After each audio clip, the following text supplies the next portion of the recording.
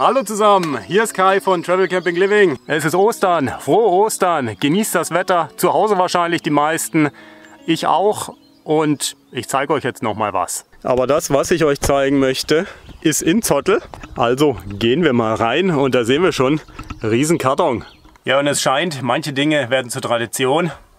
Nicht, dass ich die Sonnenbrille absetze, aber Silvi, letztes Jahr, Ostern, vor einem Jahr, habe ich auch ein cooles Paket gekriegt. Und dies Jahr wieder. Dafür sage ich schon mal herzlichen Dank und wie ihr merkt, Werbevideo. Wenn euch Werbung nicht gefällt, guckt was anderes. Wenn es euch interessiert, bleibt dran, würde mich freuen. Viel Werbung läuft auf meinem Kanal nicht. Ich schaue mir Produkte an, die mir gefallen.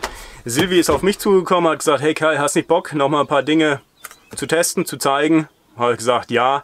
Und warum habe ich ja gesagt? Weil, und das wisst ihr, wenn ihr mich kennt, ich auf Magnete stehe und weil die Produkte top sind. Das Ding habe ich vor einem Jahr Ostern hingepappt. Das hebt, das hat Schottland überlebt.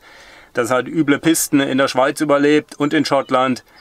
Und deswegen bin ich überzeugt von dem Produkt. Und wenn ich von was überzeugt bin, dann zeige ich da auch mehr von gerne. Und deswegen gucken wir jetzt mal in den Karton. Was als erstes ins Auge fällt, mit Liebe verpackt. Sabine. Das finde ich immer sehr süß. Das war letztes Jahr auch schon. Dankeschön Sabine fürs äh, liebevolle Verpacken. Und jetzt packen wir mal aus. Und da gibt es wieder Haufen Verpackungsmaterial. Und dann kommen hier smarte Magnetsysteme zum Vorschein in verschiedenen Formen und Arten. Metal Strip, und noch eine Metallmatte und mit der Metallmatte habe ich was ganz Spezielles vor. Die wird ein bisschen zweckentfremdet, aber dazu später mehr. Und jetzt stellt sich natürlich die Frage, was mache ich denn mit solchen Magnetpins oder den Magnethaken? Wie verwende ich die in Zottel? Die Magnethaken gehen zusammen mit der Metallleiste, die mitgekommen ist. Die Metallleiste sieht ausgepackt so aus. Die Stange hat jetzt hinten 3M Klebeband, wird also nicht gebohrt oder sonst irgendwie, sondern voll dran geklebt. Und wo klebe ich die denn jetzt hin? Denn ich möchte die verwenden mit diesen Haken als Garderobe. Denn heute stopfe ich alle meine Jacken und sonstiges Anziehgedöns da oben rein in mein Fach über dem Cockpit. Das ist aber echt ein bisschen unübersichtlich und da liegt sehr viel drin. Jetzt will ich ein paar Jacken auslagern und woanders hinhängen. Und da kommt diese 25 cm Metallstange genau zum rechten Zeitpunkt. Denn mit dieser Stange und diesen wirklich stark haftenden Magneten baue ich mir eine Garderobe.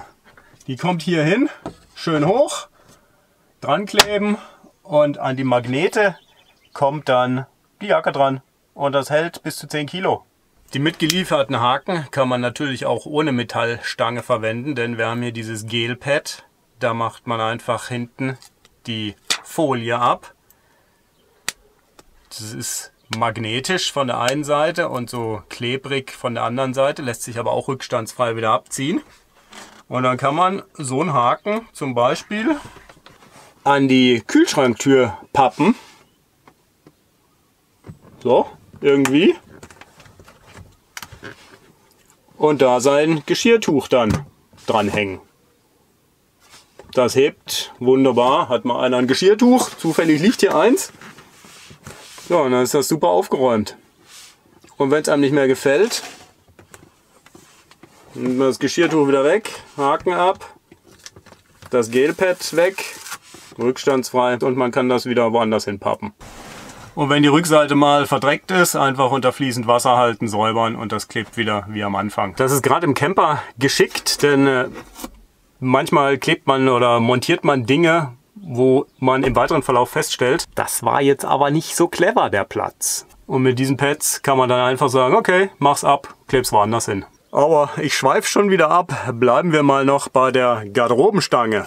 Die klebe ich jetzt mal an meine Tür und guck, was passiert. Da wird die Klebeschutzfolie abgezogen. Achtung, das ist wirklich klebend. Das kann man nicht einfach wieder reibungslos wieder abmachen. Da können Rückstände zurückbleiben.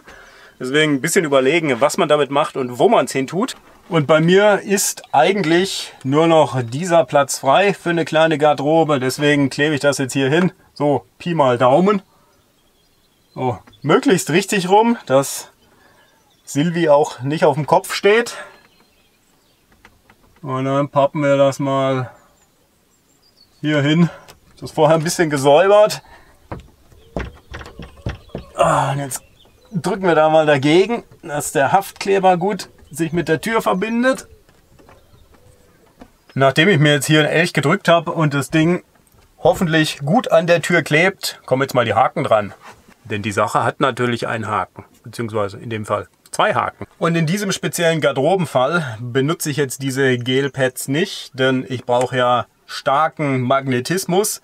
Also nehme ich nur den Magnet und papp den hier an die Schiene und ich glaube, das geht nie wieder ab. So stark sind die Magnete und da passen locker vier von den Magneten hin. Ja, und so hängen auf 25 cm jetzt vier Magnethaken und gleich vier Jacken.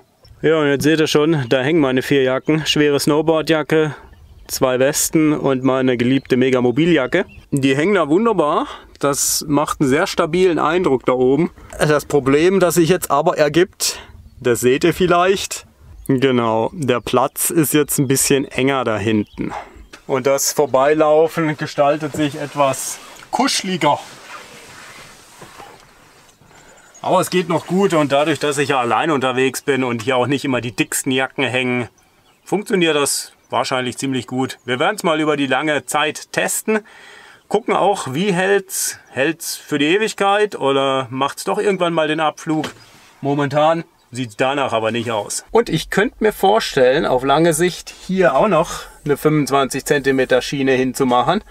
Denn hier kann man auch noch gut hinhängen. Auf dem Nachbarbett pennt eh niemand. Das ist sowieso belegt von technischem Equipment. Und dann kann ich hier auch noch zwei Jacken hinhängen, dann ist es im Gang nicht ganz so eng. Wäre noch eine Überlegung wert für die Zukunft. Für einen Stresstest des Materials ist das aber sicherlich der bessere Ort, um es zu montieren, denn da streife ich immer mal wieder vorbei. Das gibt ein bisschen mehr Zug an den Haken, an der Schiene und so kann ich viel besser testen, ob das wirklich auf Dauer hält. Und jetzt werfen wir mal noch einen Blick ins Bad, denn auch da gibt es Handlungsbedarf. Ich habe hier noch so einen Billighaken, der ist blöderweise geklebt, der hält aber nicht mehr wirklich richtig. Bei Wärme löst sich der Kleber. Da bin ich schon länger nicht happy und jetzt bin ich froh, habe ich eine Alternative von Silvi, nämlich auch wieder diese Haken. Die kann ich locker hier an meine komische Holzwand pappen, Handtuch dranhängen, hält. Machen wir mal. Oh verdammt, aber erst muss der alte Haken weg. Oh, scheiße. Wie kriegt man den jetzt ordentlich weg, ohne dass der ganze Kleber an der Wand hängen bleibt? Äh, ja, so sieht das dann aus. Ganz toll. Äh, immerhin das Holz nicht beschädigt. Jetzt kann ich das erstmal wegfriemeln. Also wenn das gerne einer von euch machen würde, herzlich willkommen. Ah, das ist nämlich echt ein Dreck. Das ist mal echt ein Mist. Da hätten wir gescheiter gleich richtige Silvi-Haken montiert, als diesen Käse. Ich weiß gar nicht, wo ich den her habe. Ja, Osterspaß ist eigentlich anders. Aber es geht immerhin. So, geschafft. Es hat sich entfernen lassen. Ja, und jetzt geht das wie vorhin am Kühlschrank. Hier wird Folie abgezogen. Das Ding wird so hingehängt, dass man Silvi lesen kann. Dann stimmt das. Bisschen andrücken. Magnet dran. Fertig. Das hält ein Handtuch locker aus. Ich habe jetzt gerade keins dabei, aber Moment. Friedrich! Friedrich will auch fliegen, denn der Co-Pilot hat jetzt seinen eigenen YouTube-Kanal, The Flying Co-Pilot. Und äh, hier, Kollege Friedrich, kann auch mal fliegen. Den hängen wir hier hin. Also wie ihr seht, ein Friedrich halten die Haken. Ja, und wie ihr jetzt hier sehen könnt, nicht nur ein Friedrich hält der Haken, sondern auch ein Handtuch. Friedrich hat das übrigens Spaß gemacht. Was haben wir noch? Wir haben noch eine magnetische Matte. Die kennt ihr aus meinem letztjährigen Video. Da kann man wunderbar Gläser draufstellen, die dann nicht verrutschen, gerade für die Lagerung in den Schränken. Das Video von letztem Jahr verlinke ich euch hier hoch. Aber heute will ich mit dem Ding was anderes machen. Ich suche nämlich schon länger nach einer Whiteboard-Lösung für Zottel, wo ich immer mal Dinge aufschreiben kann, die ich noch machen will, die ich filmen will, die ich einkaufen möchte und so weiter und so fort. Bisher habe ich da nichts gefunden und jetzt ist das mal ein Test. Denn diese Matte lässt sich wunderbar hier hinkleben. Ist magnetisch und wie ich dann drauf schreibe, ist auch ganz simpel. Jetzt klebe ich die Matte da aber erstmal hin. Dafür wird hinten entfernt. Das lässt sich auch wieder rückstandsfrei abnehmen. Also muss man auch nicht so ganz genau messen. Wir machen das wie immer. Pi mal Daumen, dann passt das schon. So, jetzt haben wir hier noch die Schutzfolie drauf. Dann habe ich hier ein Blatt Papier und das kommt hier dran. Und dann habe ich ein sehr simples, schnell installiertes, ohne Kleben, Bohren Whiteboard. Nur wie befestige ich jetzt das Papier? Da kommen diese magnetischen kleinen Pins zum Einsatz. Damit wird das ganz einfach an allen vier Ecken befestigt. Und dann hängt das da super. Und ich kann hier drauf schreiben. Sau geschickt. Original kommen diese kleinen Pümpel auch mit einer Nanogel Matte und die können 10 Blatt Papier a 80 Gramm halten.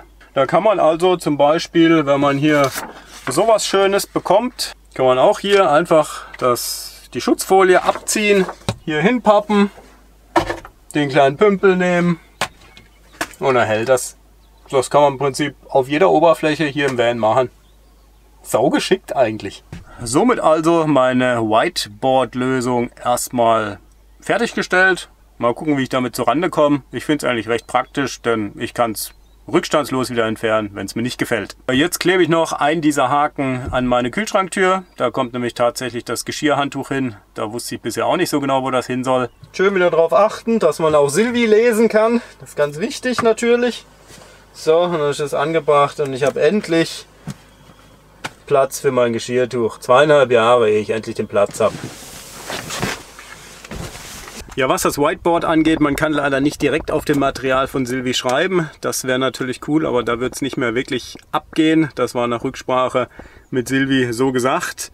Ich habe es jetzt nicht getestet, denn ich wollte es mir nicht versauen. Aber vielleicht entwickelt Silvi ja noch was, was in die Richtung geht, dass man irgendwann hier eine noch schönere Lösung hat, auf der man dann auch direkt schreiben kann und nicht mit Blatt Papier arbeiten muss. Warten wir es mal ab.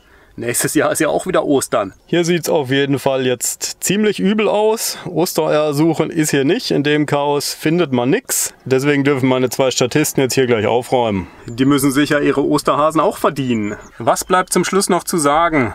Es gibt noch einen 10% Rabattcode Travel Camping Living. Wenn ihr den bei Silvi eingibt, kriegt ihr auch die 10% Rabatt. Und ich bin jetzt mal gespannt, wie die Dinge hier halten ob ich Friedrich noch öfter ins Klo hängen kann. Aber so wie ich die Artikel von Silvi kenne, wird das gut funktionieren.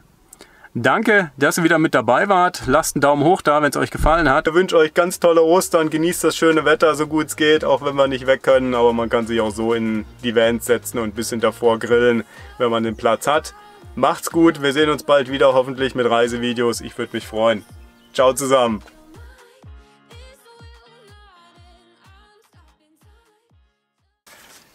Oder den Metal Nano Gel. Heißt nicht gleich.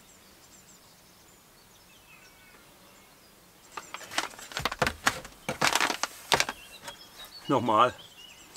Aber ich schweife ja schon wieder ab. Bleiben wir mal noch bei der Gardinen. Gardinen? Boah, ihr hört das? Oh, falsch rum. Also wenn die einmal hängen, Überlegt euch vorher, wie ihr sie hinklebt. Boah, das Ding geht gar nicht mehr ab. Scheiß die Wand an. Ah. Hm, Co-Pilot. Oh, leck. Das ist der Wahnsinn. Ja, man muss es wegdrehen, dann geht es auch wieder ab. Also mit ziehen ist nicht, man muss es wegdrehen. Heimatland, das ist der Wahnsinn. Also jetzt gescheit rum noch hänge. Nämlich so rum auf dieser magnetischen Unterlage, da kommen diese, ah, wie heißen sie?